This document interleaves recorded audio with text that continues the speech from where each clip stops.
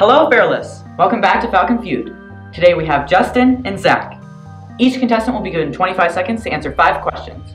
The contestant with the most popular answers will receive the higher score and win the game. okay, Justin, time will start after I ask the first question. If you can't think of anything, just say pass, and I'll revisit the question if I have time. Are you ready? Yes. 25 seconds on the clock. Name a popular female movie inspired costume. Uh, Superwoman. Name a Halloween prank. Uh, scaring people. Name a popular Halloween decoration. Um, pumpkins. Name a popular Halloween movie. Uh, Friday the 13th. Name a scary Halloween sound effect. Uh, uh, Michael Myers. Nice. Okay, Zack. Time will start after I ask the first question. If you can't think of anything, just say pass, and I'll revisit the question if I have time. Are you ready? Yeah. 25 seconds on the clock. Name a popular female movie-inspired costume. Sexy nurse. Name a Halloween prank. Uh, TP house. Name a popular Halloween decoration. Uh, pumpkin.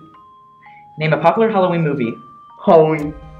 Name a scary Halloween sound effect. Uh, piano. Okay.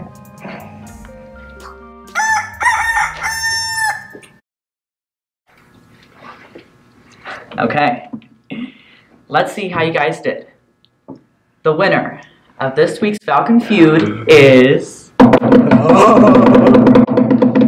With three top number one answers. Zack! Uh-huh, this much. All the girls stomp your feet like this. Oh! Hello. That tears it.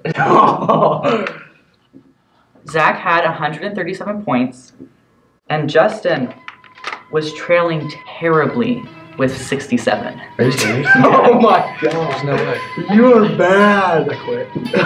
See you later. See you later, nerd. Okay, well, You said butted me. that's all for today, folks. See you next week on Falcon Feud.